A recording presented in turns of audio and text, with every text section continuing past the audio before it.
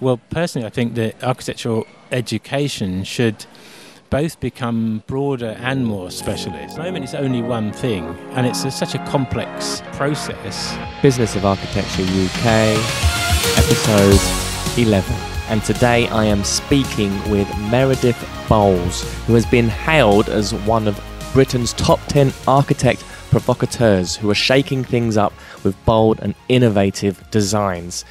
Um, in this episode, we talk to Meredith and he explains his journey in the business of architecture as he's built the award winning design focused firm Mole Architects.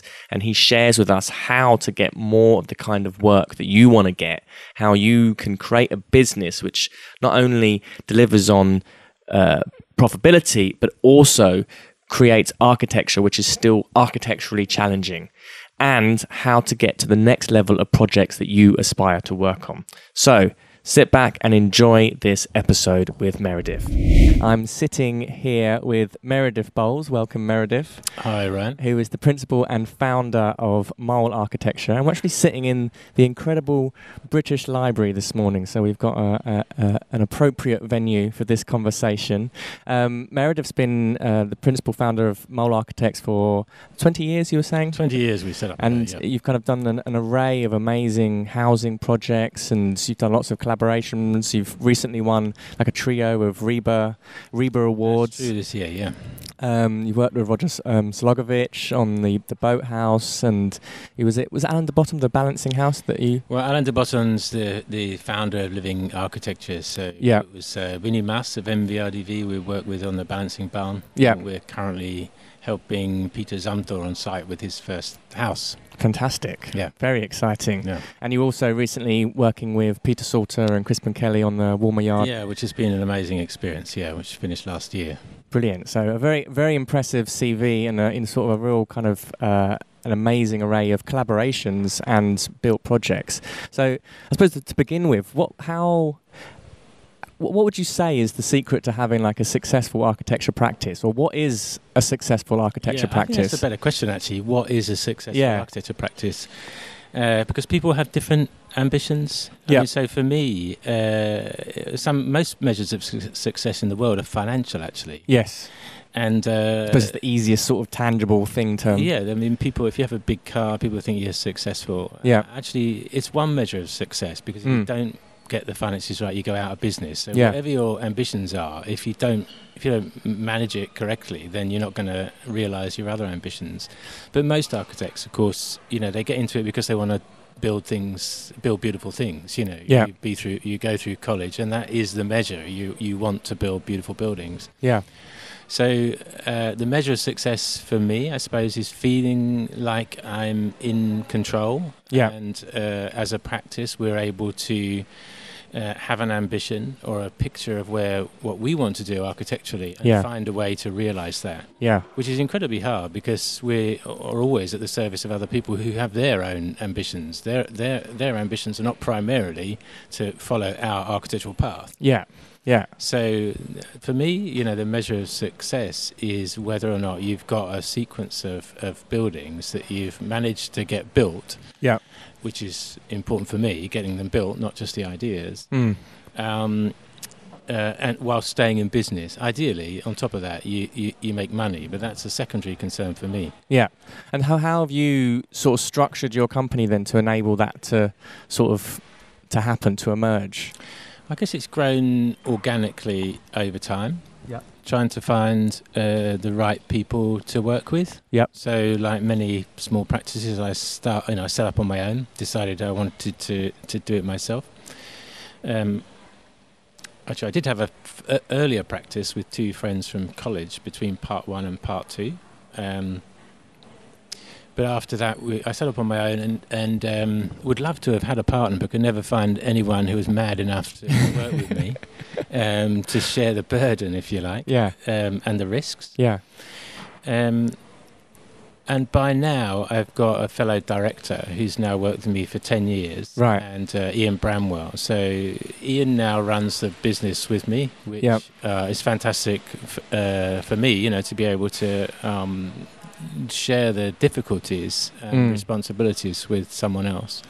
And by now, I have two associates who um, also have responsibility. So you know, there's there's four of us really who are running the business, and now you know over the 20 years, I suppose Ian started taking that role on about four years ago. Yeah. So in 16 years, it was basically m- myself and employing architects and architectural assistants and so on. So pretty, you know, a pretty steep pyramid, if you like. Yeah, yeah. And what, how's that, how has it changed then for you in terms of like creating that successful practice? Now you've got other people that you're sharing it with, and what's what what makes a successful business relationships or business team? It's that's a good question. It's uh, the the reason it changed is that there was one year where I lost money, Right. And uh, it was when I'd quite quickly grown from sort of five or five six people up to about 12 to 15 people i won Yeah. a big uh, i won a big contract abroad in in taiwan in the far east and um, had to quickly expand to take that on and uh, the difference of running the bi- you know business of 12 people from five or six was quite dramatic Mm. and um, I hadn't put in place the structures to allow other people to become fully responsible Right. for the for running the, the work, especially the financial side of it. Um, and I no longer had time to do everything previous to that. Like many sole practitioners who then employ people, I just carried on doing everything, you know. Um, so that was that was what prompted it. I um, lost uh, lost money one year and um, realised that if that carried on, I would go out of business. Yeah. I'd better do something quickly about it. Yeah. So I employed a business consultant Right. hi- hi- um, architectural business uh, consultant, um, and uh, which cost quite a lot of money. Yep. And um, learnt a few things from him um, about how to how to structure Mm. uh, a business and how to manage finances, and understand our worth and try and get people to pay for it. yeah. Um, so that that led to a real significant uh, change in giving giving the senior members responsibility for Mm. resourcing their jobs. It's quite Yeah. simple. Yeah. And what what other, what other things were did you learn through that using that business consultant that really kind of started to transform how you were operating? Or you say you kind of were learning to uh, uh, kind of express what your value was, or know how to communicate your how much Yeah. your services were worth. What what can you say a little bit more about that? Yeah, it's quite. I mean, it's all down to um, uh, it's all down to the contract you you first of all sign. Yep. Um, and going through with your client. So a really good tip he said is um, when you get your agreement, go through it line by line with your Mm. client, which kind of I, I was to some degree, but I do so much more specifically now to make it clear to them that you're serious about everything that's in there. Yeah. And some of the things that are in there is that what happens when things don't go quite according to plan, which they don't in our business. Yeah. Um, and making it clear that we have uh, a fee which is set up for uh, how things sh- should work. But when things go go slightly awry, which might not be the architect's fault, if it's the architect's fault, we have to bear the consequences of it. Mm. Um, it costs us more time. Yeah. Our business is wholly about time. That's, Yeah. that's it. You, they pay for our time. And so you have to build in structures to get fees for the additional work. Right. Uh, and if you don't go through it with a client, make it really clear and talk directly about money, not be afraid to talk about money, it becomes really difficult to then broach the subject Mm. at the time you need to when it's fraught and Yeah. difficult and embarrassing. Yeah. It's And- rather than it being done up front when it was kind of like a safer. Yeah.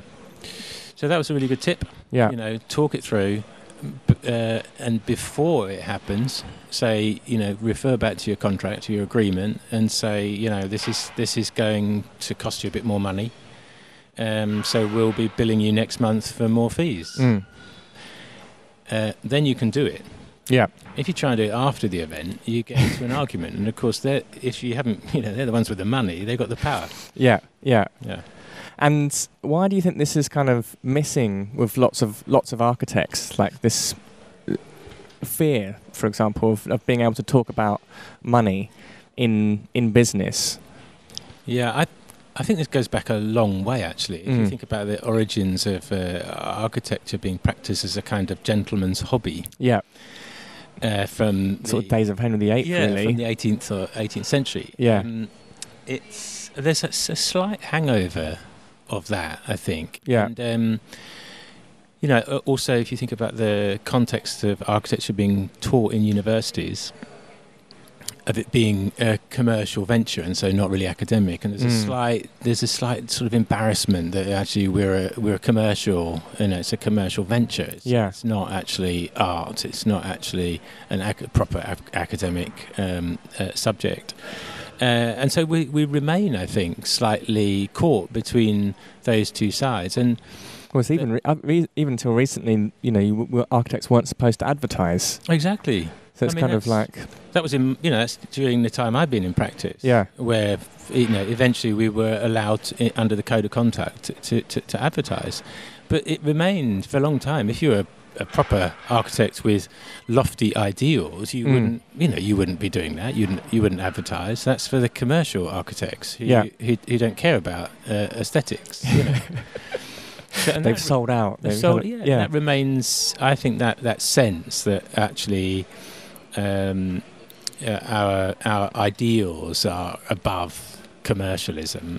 yeah, Uh, it, it, it remains with us. yeah, I suppose the the other side, which is a more positive spin on it, is that architects, through our education, rightly think we have a social responsibility mm. beyond uh, beyond the b- particular building that we're looking at, and certainly beyond our venture as a business. yeah, And um, you know, I think that's good. I think that someone needs to have a social responsibility, especially now where the state is divesting itself of all responsibility. Yeah. It seems. Where, who is going to take responsibility for the development of our cities in a way that is good for people? yeah, But it does mean that, that architects, because of that side of our nature, that we feel we should be doing good, yeah.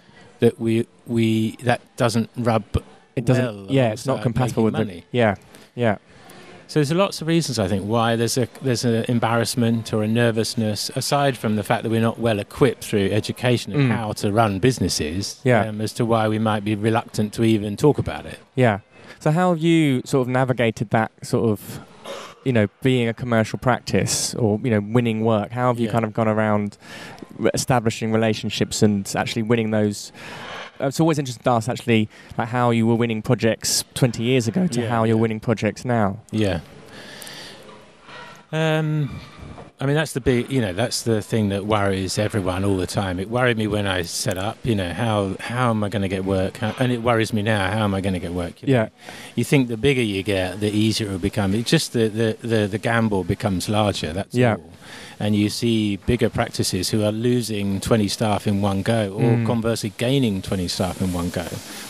And um, you know, I think that's a real our this problem we have in our industry about fee bidding, Yeah. where we're we're we're putting cutthroat fees in to win work from one another, is meaning that we have no resilience in business. No one's building up big reserves. So when Something happens. We've got yeah, nothing when to. we don't win the work we're hoping to win, uh, we're able to keep our staff on, and that's a real Yeah. real issue.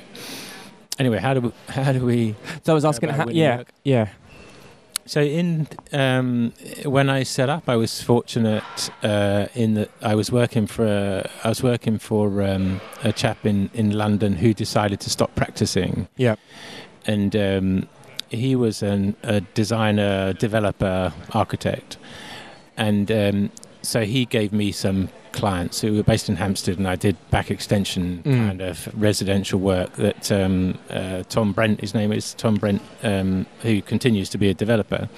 He passed on to me, so that that was enough to do sort of half a business. yeah, And then I'd um, been working as a construction manager on a on a on a site for Tom, where we were um, both building and and managing uh, uh, residential refurbishment jobs for Yeah. Tom's clients. And I got on well with the contractors. I also set up a small contracting company uh, with with uh, Michael, who's the head carpenter right, um, doing uh, so we did design and build for Right. you know when when um, the east end of London was beginning to do out loads of warehouses into into cool apartments we Yeah. did a number of those um, so that's how I started, really. And then and then and from there, how how do you sort of broach winning new work now? So, um, word of mouth was a part of it. Uh, the problem with residential work is Mm. that you you don't know.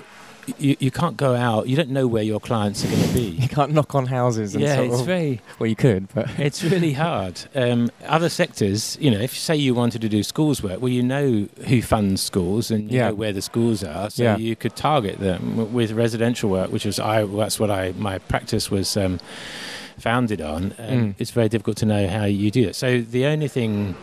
Uh, I felt I could do is um, other than tap into everyone I knew to make sure everyone knew that I was, you know, available for work uh, was to do work that was good enough so it could get published Yeah. and therefore and win awards and Yeah. um, uh, get attention that way and that did work actually yeah. um, it did work. So I got people uh, coming to me who I didn't know uh, through editorials. Advertising interestingly was was hopeless so early on I advertised in quite a lot of places What kind of adverts were you putting together? so this was um, well. I mo- when I moved out of London, I even advertised in the Yellow Pages. I, Right. took, I looked at magazines who I thought might have the kind of clientele with a bit more money, and put, put adverts in magazines. I think I once put an advert in Grand Designs mag when that was yeah. new.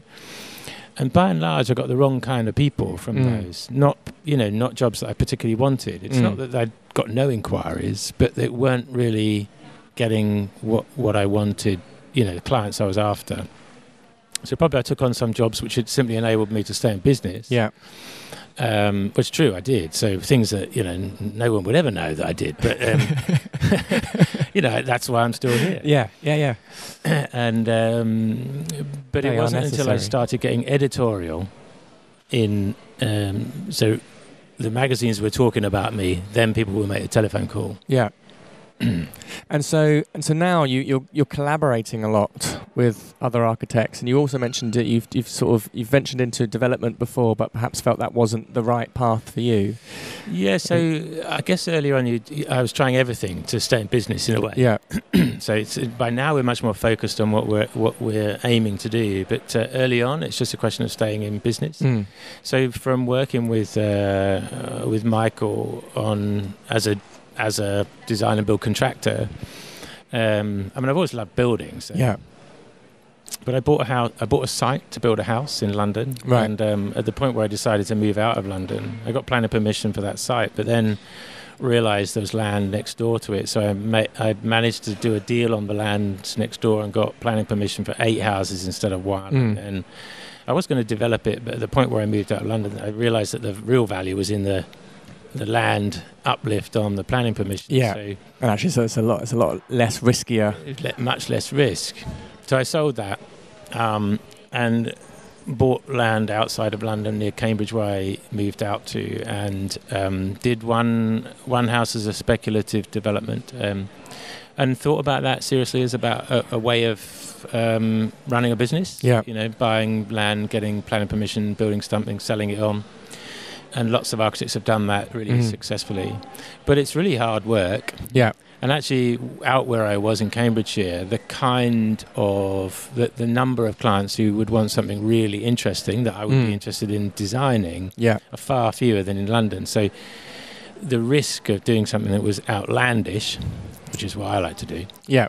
uh, and not selling it was pretty high. So if you're going to do a development company, then like most development companies, you have to pitch somewhere in the middle ground to Yeah. your likelihood of selling it Yeah. um, unless you're in an area where you're likely to find those particular people who will buy something unique, interesting, architecturally challenging. You know? Yeah. So I decided against that as a as a path. Um, where where, And- where were we going with that? Well, I was I was uh, yeah asking kind of why you decided. You think you answered it pretty succinctly. Why you decided not to sort of pursue development as a like an alternative business model, yeah, and it's much more about actually that you want to be doing the kind of designs, the impactful designs that you want to be making, and then, Yeah. and so and so from there, how did you? How do you sort of ensure that you do work with the right clients, where you can kind of fulfil on your design intentions and your Yeah. sort of ideas? And and if you could say a little bit more about the sort of the collaborations, because I think that's really yeah, that's a really powerful way of sort of yeah.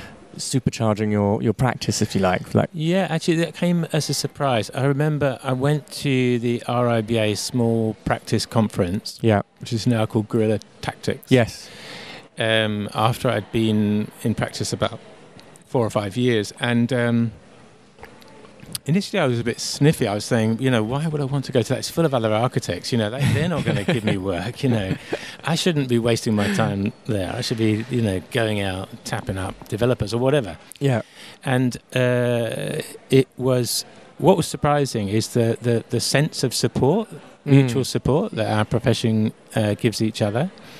A brilliant talk by Paul Monaghan of AHMM, who um, was in the year above me at university and by Right. that time had got a very successful practice. And he gave a talk, which I now give because I Yeah. know how useful it was to me, about exactly following the path backwards to find out where his work came from. right, okay, So he was looking at healthcare jobs, yeah, and he went all the way back to a point where they um, almost knocked on the door of a small uh, local surgery and did some refurbishment work of their waiting room. yeah, And how through contacts, it's all about contact, yeah, uh, well, contacts and experience, um, how that then led to being trusted and doing something bigger. And, you know, by the time he's giving that talk, doing uh, larger healthcare buildings. And I found that really uh, fascinating. And at the same conference, bumped into a couple of architects who I had known from college, in fact, who Yeah. were now running good practices. Um, and we talked about working together. Actually, I'm not sure that any of them came off at that point, but it gave Mm. me the understanding or a thought that actually architects can be my friends Yeah. in business. yeah, Um, and it's proved to be to be true, quite surprisingly. yeah, Um, so my first sort of non-residential project was given to me by uh, the University of Cambridge Department of Architecture. It was to the, the head Martial Echenique and Alan Short, who was head of the building committee.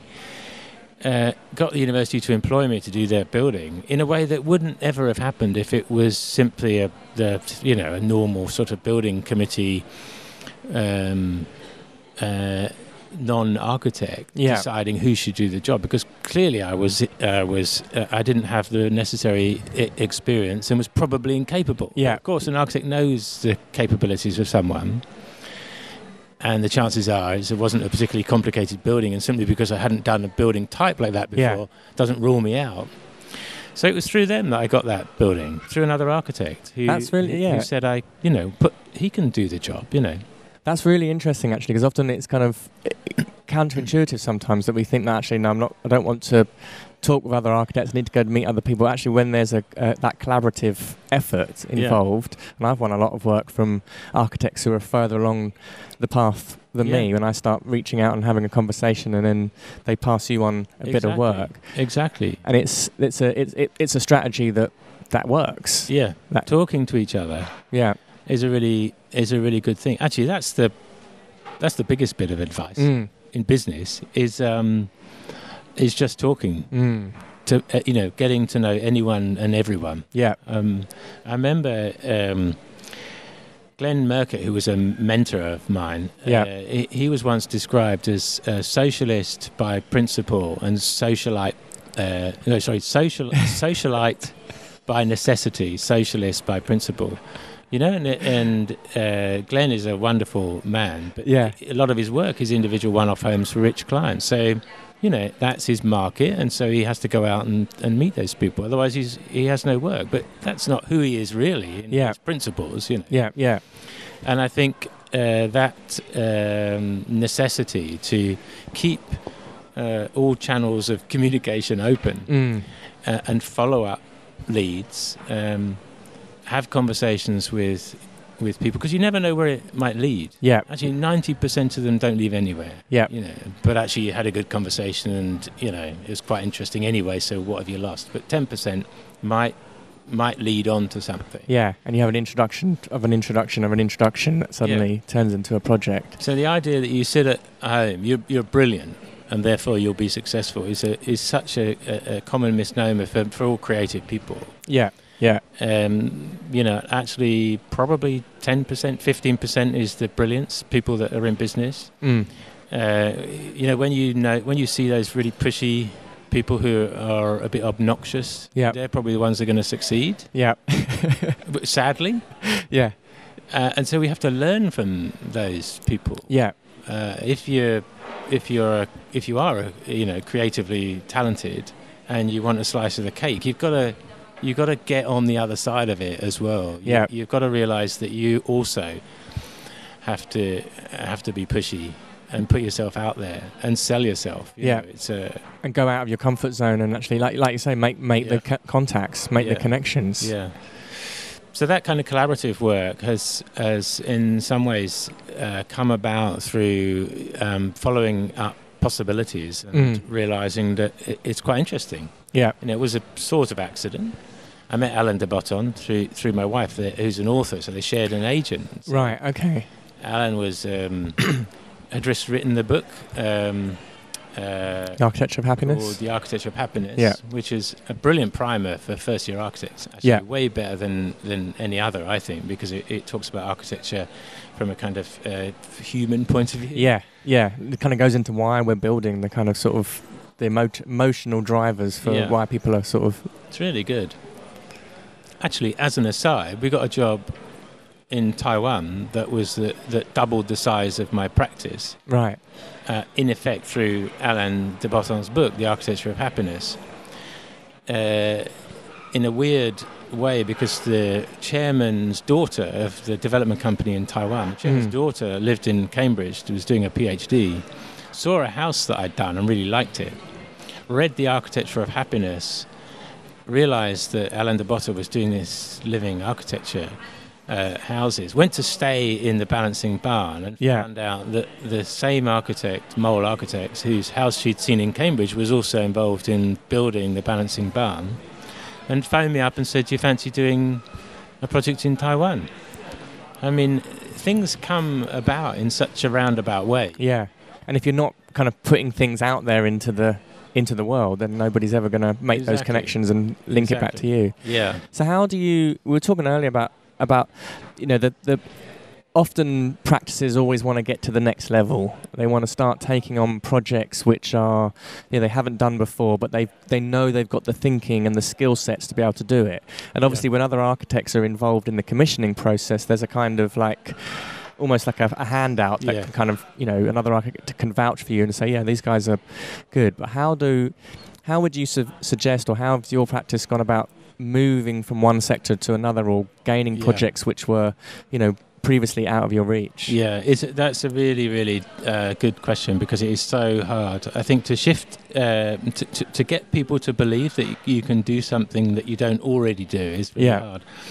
And that's built into the system of, um, of tendering and, and procurement. So most organisations end up having a PQQ that they, they, they have you list. Basically if you if you haven't done the same building three times before in the last three years you're Yeah. off the list you know it's a real struggle.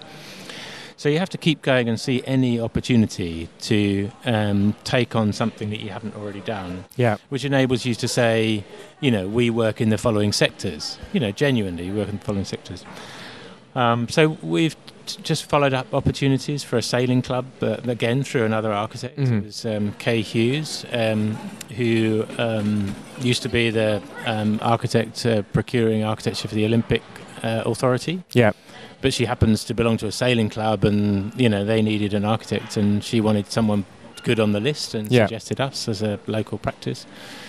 Um, but the other way is uh, possibly the o- you know the only clear way is um, is working alongside other architects who themselves can i've already got that prove experience that they have the experience. And uh, so it has to be a big enough project yeah for the for the other you know the larger practice to think that it might be possible for them to accommodate that or even a good idea to accommodate it within the, the fee and the scale of work yeah because it's quite adds a level of complication that you need to have sufficient fees to cover. Yeah. Or that they see that there's something in your practice that might be beneficial for them, and so they might be better off, you know, more likely to win the bid if Mm. they include uh, not just themselves but other people. Yeah. um, which you know is often is a is a reasonable case that can be put forward. And we've done that a number of times, both in competition and and uh, in actual jobs, and been successful. So that's part of the conversations to ha- keep going with other architects who you know to think that you might be in a position to Mm. collaborate with them at some point. Yeah. The other thing I'd say is that actually w- is not to have too much arrogance or hubris um, and think that you actually do have something to learn in order to do the other work. Mm. So um, there might be a, a good reason why clients would be nervous to employ architects who have never worked on in a particular field before Yeah. and even a small shift. So from we've we've you know spent ten years doing housing, but uh, or houses, but the shift from houses to housing. I mean, there's another whole big uh, amount to learn, especially on a commercial side of it. you Yeah. know, it- what what the conversations you have with clients who are building housing, especially commercial clients who are building housing up, and what are the regulatory f- frameworks. So actually, doing competitions is a good way to familiarise yourself with all of the things that you need to consider when you're shifting sideways. Yeah. It's not that, it's not that we can't do it. Architects are amazingly capable, but actually, you have to demonstrate that you're. Yeah, and he, and, he, and he points at something there very critical is actually understanding what the client's concerns are about why they Yeah. wouldn't. You know, and perhaps actually if that was a, a sort of a real thing that we took on was to try and understand what, what is it that the clients are really concerned about, like genuinely, rather than us having our Yeah. opinion about it, Yeah. understanding where the client's concerns are, why they don't want to use an architect, Yeah. and actually having that conversation. That conversation in itself could be something that opens up something new and that kind of makes a bridge almost. Yeah. No, I think the, the RIBA recently did something about uh, um, uh, surveys on perception of, of architects from Yeah. other people's uh, perspective, Yeah. uh, which was a rude awakening to a lot of architects, I think, um, and a realization that uh, ha- you know how we are viewed, which is often uh, not understanding, not even attempting to understand Yeah. things from a client's perspective. Uh, and going back to that idea of uh, architects feeling that, that we're responsible for something beyond the work itself or beyond our client, that we're protecting the environment or we're looking out for society. Yeah, but actually, we're you know the client is employing us and paying us a fee to work for them. So Yeah. to a certain extent, that other stuff has to remain hidden. Uh, it's secondary from their perspective, Yes. certainly, um, to what they're asking us to do. Yeah. And I think architects would do well to really try and understand things from their client's perspective, future potential client's perspective, in order to be able to be seen as having a conversation that engages. Mm. I think that's really, actually, really important. Yeah. Yeah. And and where do you how do you see the sort of the future of the profession going? And in terms of like do you think there is something missing in our education where like entrepreneurship and business needs to be sort of addressed at an earlier stage Yeah. or is there something in the education that perhaps is causing a very sharp um, Yeah. separation between you know the academic world and then the professional world and then the commercial world Yeah. and how can we how can we successfully bridge that in the in the future particularly as we're sort of moving into this kind of digital economy and where education is like you know it's people can self-educate online or people are starting up design practices and they don't have any yeah. experience as such I think we're in a really bad way, actually. mm. um, in terms of the future of the profession. I think that the the profession decries our um, the, the loss of our centrality in the process of building. Yeah. And um, but they don't wish to do anything about it. Yeah. So they simply want to have our status back. That's it. They don't really don't really want to take on. Uh, take on the role that would give us the central status, which Yeah. is about management, yeah uh, they and want leadership to, really leadership. They yeah just want to do good design. yeah Uh, and so, if that's going to be if that's going to be addressed, the profession and therefore the, the education, so people going into the profession need need to expand what architecture Mm. and architects are. So, multidisciplinary practices, which often stem from uh, engineering practices or project management practices, QSs, Yeah. uh, they're taking on that role. And the architect is seen as costing the client money Yeah. and a specialist, potentially even add on, but a specialist within uh, a, a, a wide s- uh, circle of consultants, which Yeah. will include fire consultancy, acoustic consultants, and design as a specialism. Yeah. Uh, that's how we are becoming uh, as a profession, a specialist add on. Yeah. So, fine. There's always a role, I think, for there'll always be a role for for um, people that want to have really extraordinary buildings, uh, and I think that the design end of the profession will probably be safe in retaining uh, a place Mm. and having status and uh, a security for, for for those probably one or two percent of of uh, potential you know people building buildings that that want something special. Yeah. But in terms of the provision of the rest of it, the other ninety eight percent, the architects are in danger of completely losing out, Yeah. and um, we we do lose control if we don't if we don't retain that role of uh, project management and financial control. Yeah. Um, so w- you know, what do you do about that? Well, personally, I think that um, ar- architects, architectural education should both become broader and more specialist. Yeah. At the moment, it's only one thing, and it's a, such a complex uh, process. The, the idea that everyone is educated in the same way It's crazy. is, is bonkers. Yeah. You know? So the second degree, which they're talking about how we should arrange it, at the moment we have a generalist first degree and then a generalist second degree. So the, the second degree, I think, should be allow some people to become experts in con, in, in conservation, others become facade uh, designers, Yeah. but others to become project managers. Yeah. So there's, we can all think of uh, people we were at college with who weren't particularly good designers, but may, might make brilliant project managers. Yeah. Well, why not make that part of what architects do? Mm. We always used to do it. So the profession now, actually, through lack of uh, control within the process, especially contractual process, Yeah. are losing out. Well, the, you know, the system, the contractual system Mm. um, Uh, of, of managing the building process. Yeah. Because it's done by others. It's done by project managers who, you know, we can quite easily take on that role. Yeah. And that should happen in house. You know, it's mad, really, that uh, bigger practices don't have a whole section. They should, you know, we should be employing QSs in house. We should be employing project managers. Yeah. So, you know, the future of the profession and education, I think it's in danger of being completely marginalised. Yeah. Uh, Yeah. Becoming an add-on. It's just Yeah. yeah. And and and how do you think in terms of like having more accessibility into the profession?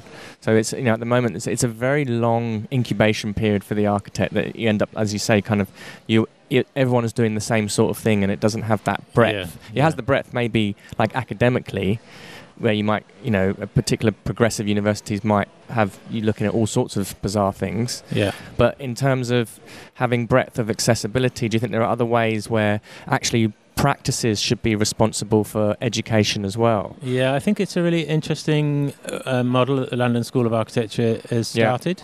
Um, and uh, Sheffield University is doing it as well. I don't doubt there are others, but it's bound to it's bound to expand. Um, Yeah.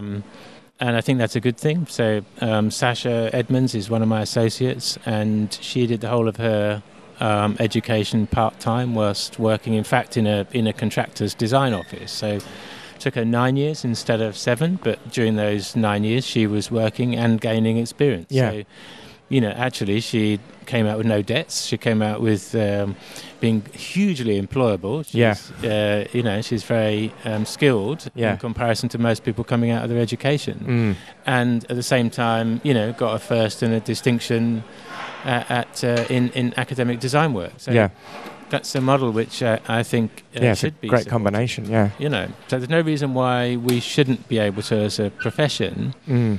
Um, assist in, in that because it would benefit us both as individual practices uh, as well as you know as a wider social enterprise. Yeah, brilliant.